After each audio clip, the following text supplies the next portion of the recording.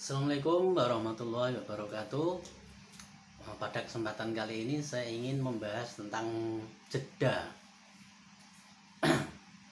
yaitu sesuatu hal yang sudah biasa dalam dunia meditasi ya, banyak yang kenal apa itu jeda. Namun kali ini saya akan membahas hal yang paling ringan ya, Eh, karena jeda ini biasanya pembahasannya tinggi. Ini kita bahas skala rendahnya saja, skala yang simpelnya saja ya.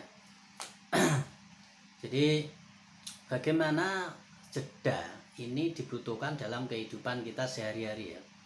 Nah, kemarin saya sudah menjelaskan tentang meditasi suwung ya atau meditasi untuk melampaui pikiran dan perasaan ya. Nah, Anda bisa tonton video di sebelumnya seperti itu. Nah, eh, jadi kehidupan kita ini ya dipengaruhi oleh pikiran dan perasaan kita. Eh, sehingga secara tidak langsung eh, menurut hukum LOA atau Law of Attraction, pikiran itu mencipta, perasaan, pikiran, kemudian atensi ya, perhatian. Itu bisa mencipta. Anda bisa simak videonya di eh, ada judulnya ya vibrasi terus atensi dan energi ada di video saya juga. Anda bisa simak ya tentang itu ya. Eh, nah orang yang belum berkesadaran atau belum mengalami kesadaran secara eh, level rendah atau level tinggi maka dia akan mengalami eh, goncangan pikiran. Artinya hidupnya dikendalikan oleh pikiran secara otomatis ya. Nah bagaimana mengatasi ini? Maka di sini saya akan membicarakan tentang cara mengatasinya dengan membuat jeda. Jadi jeda ini penting ya. Misalnya seperti ini, ketika Anda marah, eh, maka Anda harus membuat jeda. Jadi Anda Anda berhenti sejenak atau Anda eh, tidak kemudian marah langsung mukul. Nah, itu biasanya kan otak retil kita seperti itu ya. Kejadian panas, sumpek, eh, kemudian kita langsung marah jadi kita itu kehidupan kita secara umum itu dipengaruhi oleh otak retil. Jadi otak retil itu bekerja secara secara cepat, secara instan, secara otomatis. Jadi misalkan ada orang lagi marahkan pada kita, kita otomatis marah. Ada orang benci pada kita, kita langsung benci. Ada orang oh, ada kejadian di eh, lingkungan misalkan yang sumpek yang yang apa namanya bergerombol atau motor itu berdesak-desakan Anda kemudian galau nah seperti itu ya apalagi kalau ada penagih hutang ya ada debt Anda langsung galau Anda langsung sedih Anda langsung eh, seperti itu ya.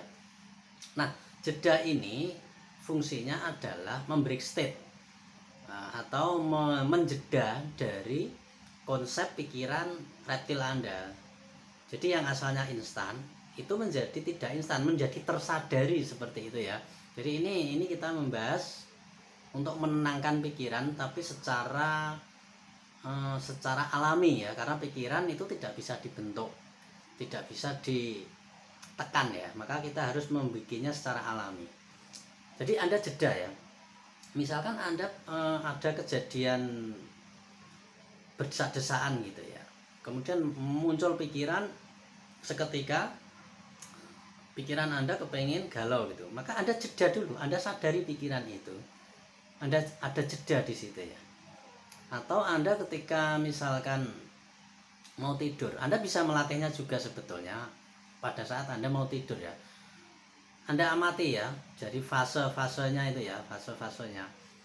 Jadi fase mau tidur, kemudian asalnya terjaga, kemudian tiba-tiba tiba-tiba setengah sadar tiba-tiba terus Anda amati. Ketika Anda rutin melakukan itu maka Anda akan tahu jedanya sebetulnya antara tidur dan sadar. Nah di situ juga ada eh, jeda di antara emosi Anda. Misalkan marah sedih senang susah galau bahagia. Ketika Anda amati di situ akan terjadi jeda. Jadi ya seperti itu ya. Termasuk dalam bidang eh, ini ya apa namanya ya energi energi seks ya gitu ya. Jadi anda ketika anda amati di situ ada jeda sebetulnya. Jadi pergerakannya itu anda amati anda amati anda amati seperti itu ya. Termasuk pikiran anda ketika anda marah anda harus jeda. Anda berhenti dulu sejenak gitu ya. Biar terjadi jeda. Jangan ngapa-ngapain. Jangan langsung bertindak ya. Misalnya anda memarah jangan langsung mukul seperti itu. Anda ada panas jangan langsung anda memutuskan untuk galau anda anda anda sadari dulu atau anda berjeda dulu di situ sejenak maka akan terjadi kesadaran di situ. Jadi kira-kira seperti itu ya tentang pembahasan tentang jeda ya. Nah, untuk lebih lanjutnya Anda bisa tanya-tanya di grup WA Anda bisa mendaftarnya ya. Mendaftarkan diri dengan cara komen ya. Nanti komen saya balas. Nah itu aja dari saya ya. Cukup sekian dan terima kasih. Assalamualaikum warahmatullahi wabarakatuh